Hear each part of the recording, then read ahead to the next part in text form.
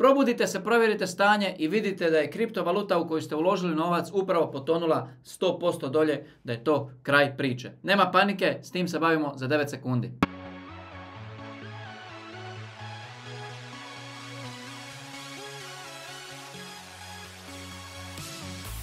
Veliki pozdrav svima, dobrodošli na kanal Kripto Teme. Ako pratite kripto teme i kriptovalute na pravom ste mjestu, ljudi ako još niste, dolje se pretplatite na ovaj kanal. I napomena večeras u 8 sati imamo live stream samo za članove kanala, biti će jako zanimljivo, sinoć je bilo legendarno, a boga mi će biti i večera, zato u 8.00 navite budilice, a sad se bavimo s jednom zanimljivom temom. Prije nekoliko mjeseci već smo se s ovim bavili, ali jako puno novih ljudi ulazi u kripto, jako puno početnika koje muče ovakve stvari. I evo danas je opet bilo drži, ne daj, mi u Dalmaciji kažemo, bilo je drži gaće, bila je panika, neki su ljudi uložili novac u jednu kriptovalutu i gledaju stanje nula.